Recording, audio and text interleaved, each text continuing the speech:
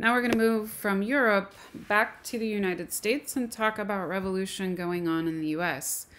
Uh, the revolution going on in the U.S. had to do with the Harlem Renaissance um, with African Americans. So the Harlem Renaissance were led by a man named Alain Locke. Um, he wrote a book called The New Negro and it called for a greater social and political activism among African Americans. Um, Harlem, because of New York City's large growth, becomes uh, wealthier. Um, and so the wealthy middle class settled into Harlem.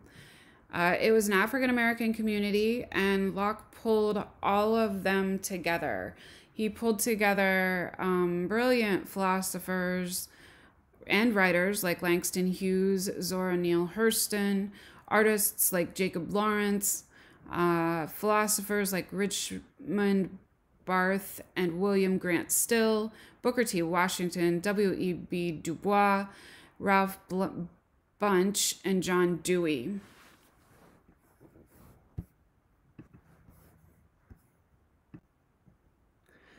Aaron Douglas was an artist of the Harlem Renaissance. He studied art in Nebraska uh, before he went to Paris and finally setting in, settling into New York City.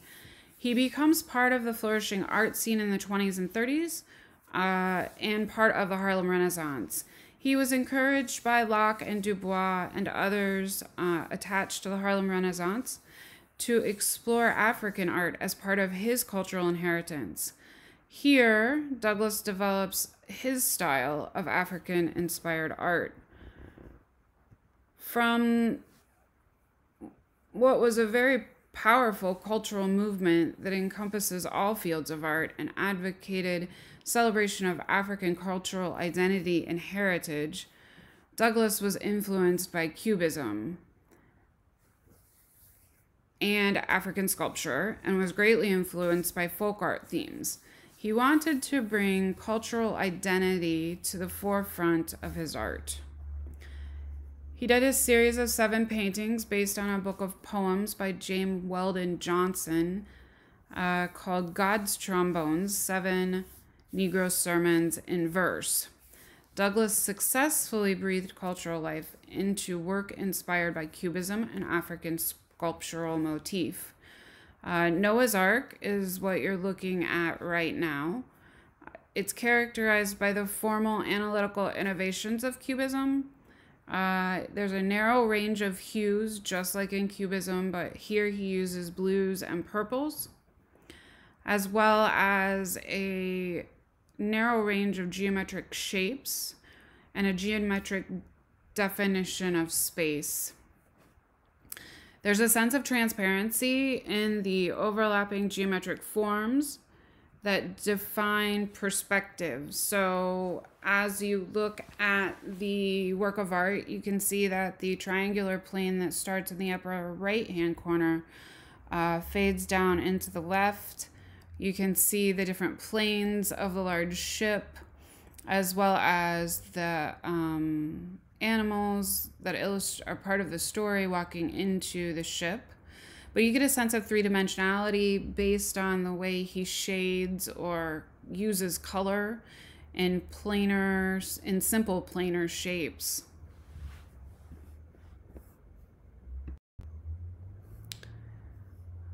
In 1934, for the 135th Street branch of the New York Public Library, which is now the site of the Schomburg Center.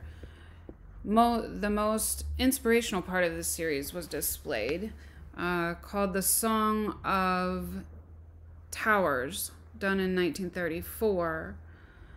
It was about eight, eight feet square, and it showed a man raising his arms, a saxophone in one hand, as though to praise the Statue of Liberty, which you can see far off into the distance in the center of the canvas, where the mountain ranges split open and the yellow meets the mountain range. There's a sense of visible distance that soars uh, coming through the Canyon of the Mountains. And you know what? I'm sorry. I called them mountains because to me they looked like mountains, but as I just as I study them more and look at my notes, they're actually skyscrapers. Uh, and so there's something to be said about that. The skyscrapers are so large and so monumental that they seem uh, mountainous. And Douglas intended that. He's trying to get a sense of visual distance, but he's also trying to give you a sense of the culture in which African Americans face at this given point in time in society. African Americans are struggling due to the Jim Crow laws, due to due to um, segregation and uh, prejudice, and their ideas and their accomplishments are being overshadowed by white men. And so the opportunity to uh, sort of climb the ladder of success becomes a challenge. And so you get this figure who is praising uh, with music He's got his hand raised with his saxophone. Music was a very important part of the Harlem Renaissance. It capitalized on uh, jazz musicians like Louis Armstrong, who made great strides in uh, music for African Americans, but for all people in terms of jazz.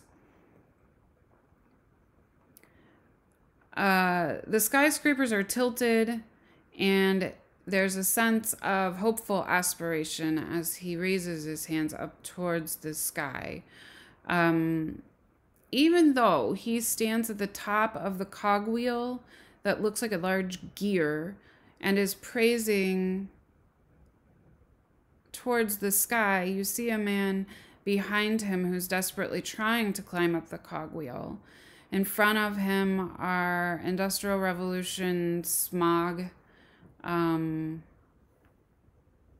things that are spewing fumes into the atmosphere, um, talking about machinery, and remembering that New York is a city that has a lot of this type of industrialization.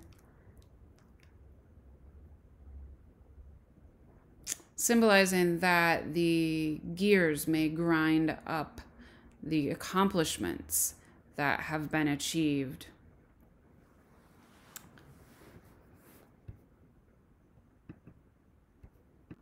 This is another one of Aaron Douglas's work.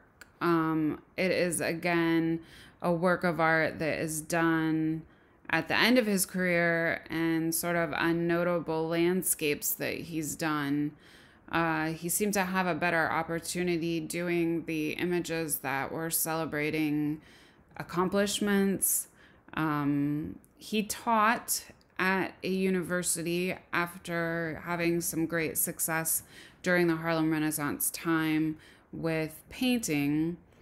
Uh, and he led negotiations with the Works Progress Administration to secure federal contracts for African American artists. So he makes a big wave in the world of art, securing uh, equal space or securing space for African American artists so that they have a bigger voice in the conversation uh, about art and technology at the time.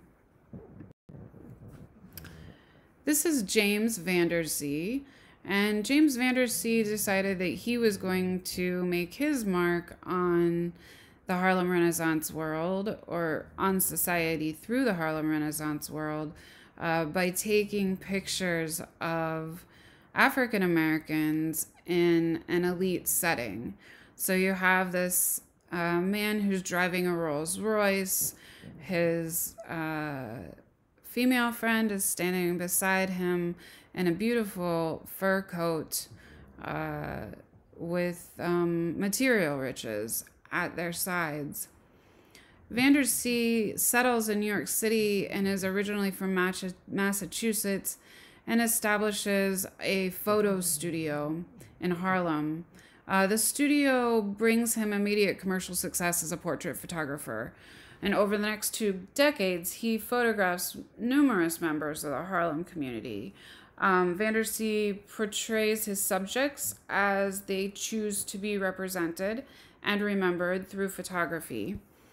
He approaches portraiture more as an art form than straightforward visual record, often introducing theatrical aspects and having his subjects pose with elaborate props and backgrounds reminiscent of the 19th century photographs.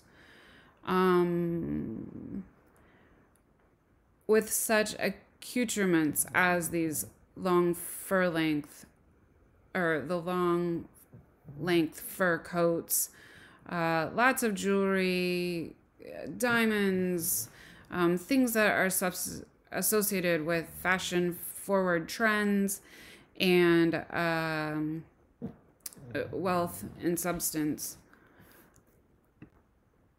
Vanderzee was the official photographer for political activist and orator Marcus Garvey.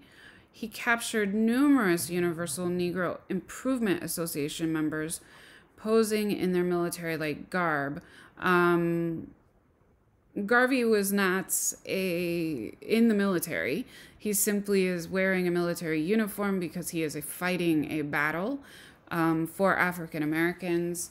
Uh, you see his wife sitting in the chair next to him, and his young son who stands uh, in a military uniform. Also, as a family, they fight for space um, for the African American voice in society um, as a way of saying African Americans have something monumental to contribute to society, that um, they are philosophers, they are artists, they're creative, uh, and it speaks truth to the African American contribution uh, in society. He often took portraits that he then retouched or used a double exposure to add elements of um, texture in the work. For example, he would take a double exposure to create um, a smoky feel or an imaginative feel, uh, which you see here. This young woman's dressed in beautiful rich dress with a fur-lined collar, and the background behind her seems hazy or foggy or smoggy. Um, it's because of the double exposure. He creates this sort of signature of the double exposure behind uh, the young lady. Not only he does he uh, create some unique perspectives in portraiture like the one we just saw with a hazy background. Um, he photographs famous people. Uh, his career ends up taking a bit of a stall after the 1930s because camera equipment gets more expensive and the, con- the economy takes a nosedive. Uh, but in 1969, the Metropolitan Museum of Art in New York features a selection of his works um, and it was called it was in a multimedia exhibition called Harlem on My Mind. The show took a lot of criticism due to the lack of African American art of the more refined and artistic forms, such as painting and sculpture. But his work was displayed, and he saw a resurgence even through the negative publicity. Uh, he sees a growth in in demand for his photography, and so famous people come to him asking to be photographed, like Bill Cosby, uh, Jean-Michel Basquiat, and Muhammad Ali. Um, and they wanted portraits that were reminiscent of the original portraits that he took.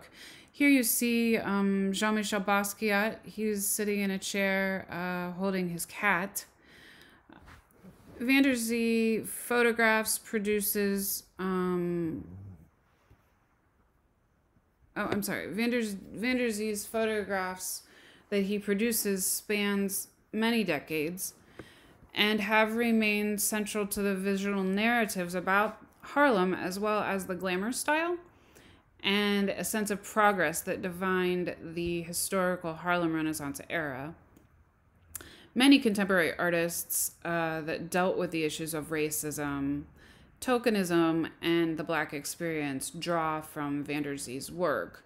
So he really put his own thumbprint on the uh, artistic world with his photography and his unique techniques that he develops.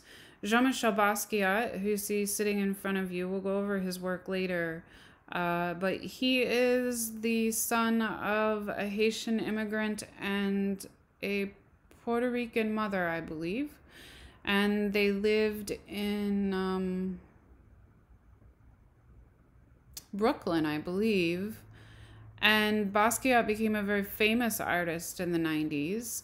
Uh, he worked side by side with Andy Warhol and used found objects to create very fascinating paintings that were about his cultural heritage and the world around him. Another famous artist of the Harlem Renaissance is Jacob Lawrence. Um, here you see the Great Migration Series panel number one during World War One. Um, there was a great migration that came. So the Great Migration was a mass migration from the south to the northern parts of the states in the 1930s and 40s. Um, African Americans moved north, hoping that racial tensions would be less pronounced uh, and a hope of a better life. Lawrence was highly influenced by Cubism. You can see the flat planes of color, and he often uh, worked in woodcuts and um, printmaking. His early works were about African American history. They tended to be small and sometimes had text. He grew up in Harlem during the Depression. Uh, and Harlem was the active cultural center that we just got done talking about. He became interested in art as a teenager and uh, got training at art workshops sponsored by the federal government's Works Project Works Progress Administration. He goes on to study at the American Artists School in New York. From 38 to 39, he works in the Federal Arts Project and produces some of his earliest major works. He then moves to the MoMA and has an important show that secures his place in the artistic world. Um, Americans tend to adapt the European modernism and tend to bring in more abstracted forms that had been popularized in Europe, especially Cubist forms. He tends to have these rhythmic arrangements that have bold, flat colors and shapes, and they speak of racial tensions in the United States. You can see here um, in Jacob Lawrence's print number 49 from the Great Migration series, a um, restaurant that is segregated. Uh, the African Americans sit on the right and the white men sit on the left. You can see the um, gold railing that divides the two sections that sort of undulates back and forth between the center of the canvas. Um,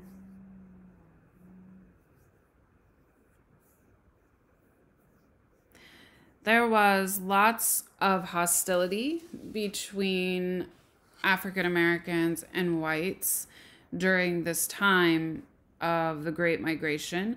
Um, I would say primarily because there was a large influx of migration from the south to the north. Um, and the north really wasn't ready socially um, to be as progressive as they seemed to be. Um, there was more restrictive housing, more restrictive living, um, and restrictive working policies. Um, many experts studied the Midwest to find strategies of um, exclusion. Migrants were often segregated and segregated into the poor housing conditions. They were forced to take on pay that was inferior, um, and they were discriminated against in the workplace. There was widespread unrest uh, over the conditions of their lives, and during the summer of 1919, race riots ensue. Uh, okay, I told you that. All right, so let's move on to Jacob Lawrence's The Shoemaker. Um,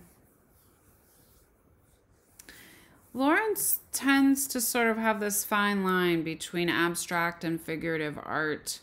Uh, he uses aesthetic values for social ends, um, and he's successful at balancing and sort of oh tension aspects racial tensions in his art and aspects of it in his art um, he really has a body of work that is a wonderful testament to history. He captures the history of the Great Migration. He captures the history of the poor working conditions. He captures the history of racism in his works of art. Um, he has a long and distinguished career.